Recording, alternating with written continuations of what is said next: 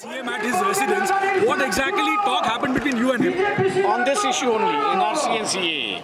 But what was his position and uh, wha- what you explained? He made us very clear that his government is not going to implement NRC and CAA. But uh, even uh, Prime Minister uh, yesterday said that NRC or CA is not against any particular community or any. Or, Question is, he should answer as to why 13 lakhs Hindus have not only been defranchised, but even their citizenship is now is in trouble. Hmm. hmm. How 30 13 lakhs Hindus are affected in Assam?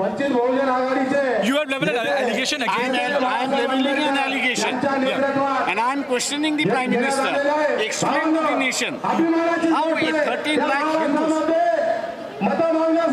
which is their, their, this country is their country. Under what law? Under what system? Have you deprived them of registration? And later on you going to deprive them of citizenship, out of which 85,000 is now in detention camp. You should communicate and say whether 85,000 is in detention camp or no. So what about the tribals and nomadic tribes? Because They are the worst affected people in this country. And therefore you see this, this is a morcha of the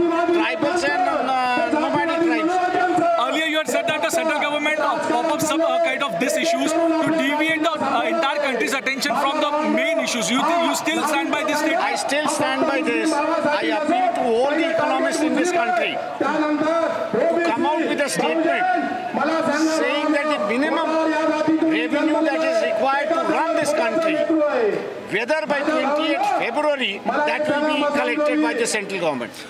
It's it's a challenge. It's a challenge the to take, and they should answer this people to the government. The way you are doing protests, you think that your voice will get heard by the central government? See, till the last campaign, they didn't bother. Only because the campaign which was going against NRC and CA were concentrated on the Muslims. For the first time, this Andolan has brought about that along with the Muslims, 40% of the Hindus are going to be affected. And that has shaken the BJP analysis. Thank you,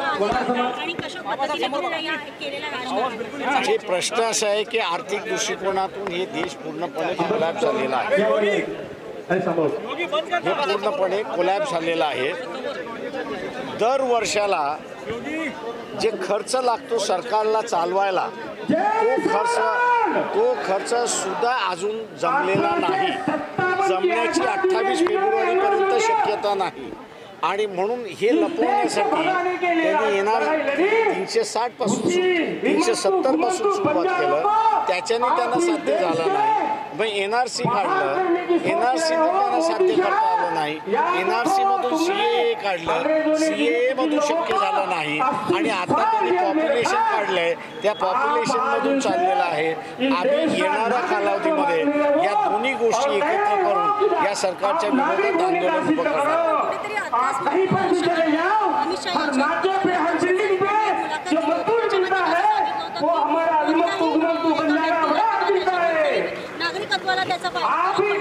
R S S पूर्णपणे खोटारडी संघटना आहे.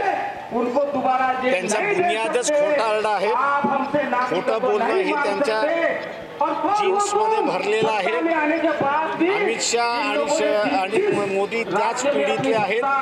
त्यांनी पार्लमेंटमध्ये जे बोललं त्याच्याशी इमानदारीत राहावं. फक्त diffuse करण्यासाठी त्यांनी बोलू नये हे मी त्यांना आवाहन करतो. कार्रवाई बर्बादियों